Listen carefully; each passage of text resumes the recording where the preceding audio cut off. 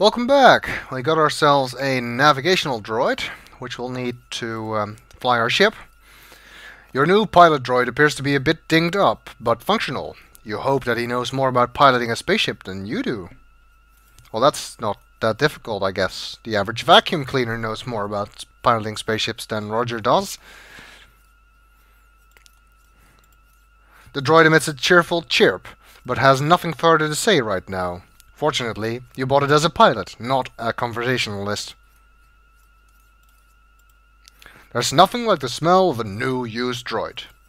It's like that new car smell, I guess. Like many things in your experience, it looks better than it tastes. And he does have a lot of experience, even just through the course of this game. Well, let's uh, get out of here. It automatically follows us. Can you actually look at this art? No. Does the ship smell like anything? The ship smells a bit like space. It must have been there recently. Hmm. Needs salt.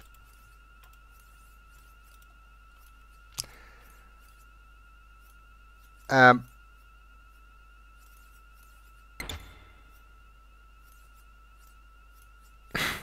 okay, I was afraid he was stuck there. How can the ship smell like space? Space doesn't really smell like anything. Once you are seated snugly in the ship's compact cockpit, the robot moves into position and you push the load button.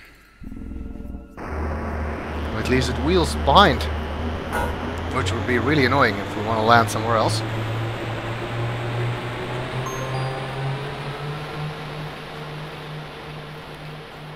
Hey, wait a minute! Where do you think you're going with my ship? Uh, we bought it. From, hey! It's the time pod from Space Quest 4! You'll see once we get to doing that game. It seems that Tiny didn't actually own this ship. Oh well. Roger didn't see that, so um, his conscience is clean. We have achieved escape velocity. It might help if you were to tell me where we are going. Please indicate our destination on the touchpad in front of you. Well, we need to go to sector EG, but unfortunately there are no uh, actual, you know, letters on this keypad. It's a keypad just like the uh, data cartridge retrieval uh, thingy on the Arcada. So again, we need to use the uh, manual to tell us what code belongs to uh, sector EG. Sorry. Well, let's look around a little bit here. If there's anything to look at. Which it seems there's not. Then why even give me the option? Please enter a navigational code sequence to allow course plotting. Um, alright, we'll just enter the code for sector EG. Which is this thing. And this thing. And This thing. And finally, it's this symbol. If you put in a wrong code, um, I think it, will either just not work, um, or you'll go somewhere and you'll die. Either by crashing into an asteroid or something like that. Hey, wait a second. Did I read that wrong? Oh, yes, I did. I must have switched codes accidentally. If you give the wrong sector, then you'll go somewhere and die. But if you uh, give a code that doesn't exist at all, then it does nothing, as you just noticed. Okay, I'm plotting our course. Course plotted, stand by for warp speed. Engage!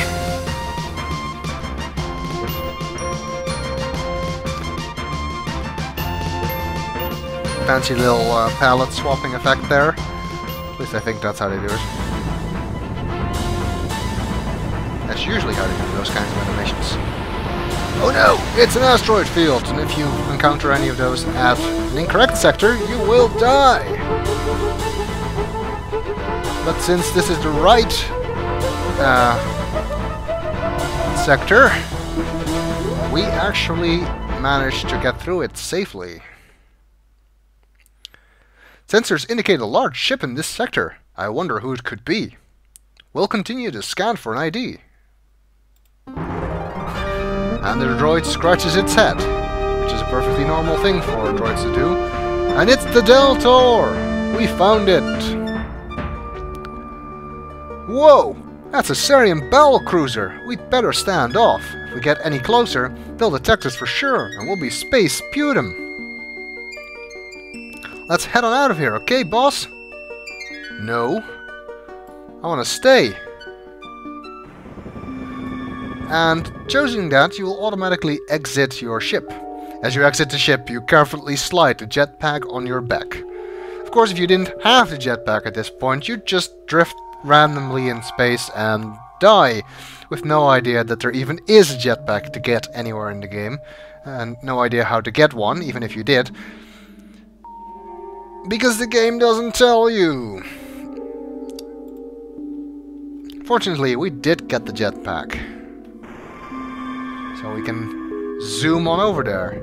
Now you can see there's guns on the back of the ship. And no, those aren't just decorative.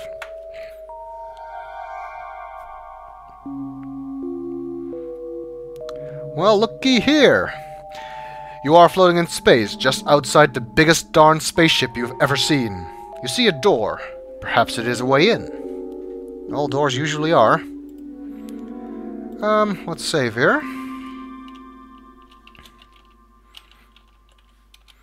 Like I said, the... Uh,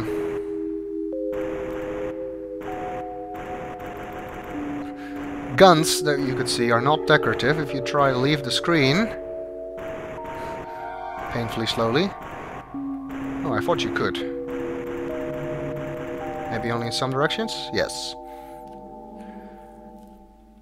You get to the guns, and they blows you up good. Key-haw! The inhabitants of this vessel apparently do not appreciate your desire to sightsee. I guess it's a good idea not to be wandering around the outside of this ship. You are a carbon-based being. Now, you're just carbon. Uh, this wrong spelling of your... One of my pet peeves, anyway. Alright, we'd better stay here then. It appears to be a standard airlock. There's a handle off to the side. It's a handle. You're next to a large hatch in the side of the ship. Uh, anything here smell? First, you would have to take off your helmet. And that's not a very good idea. Not through your helmet. Okay, well, let's just try and open the uh, airlock. I think if you wait too long, your jetpack runs out and you die as well.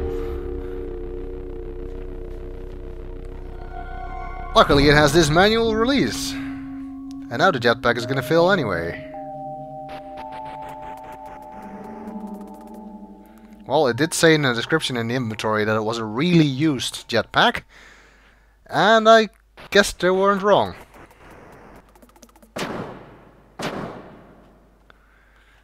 Now where are we? appears to be a decontamination unit, something like the ones used to zap Andromedan cockroaches aboard the Arcada. You wonder what it's here for? Well, I'm guessing it uh, might zap me, and I'm also guessing somebody might come um, here, so we better take cover in case they do, because we don't want to be spotted. Your overheating jetpack lies smoking on the floor. You hope that it doesn't explode. The airlock door looks unfortunately thick and sturdy. There seems to be some sort of special door control panel. It requires some sort of special key keycard, which you obviously don't have. Which also means we cannot get out of here without external help.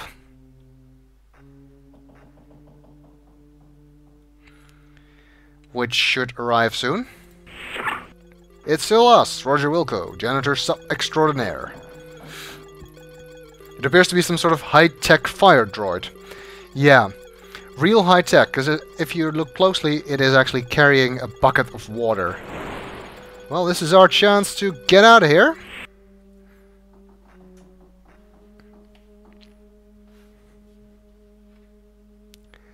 And we are inside Deltaur. All we gotta do is find the star generator and, well, blow it up, basically. Before the Sariens can use it in their plans of galactic domination. Well, uh, we'll see if we can uh, make some headway on infiltrating this uh, ship in the next video.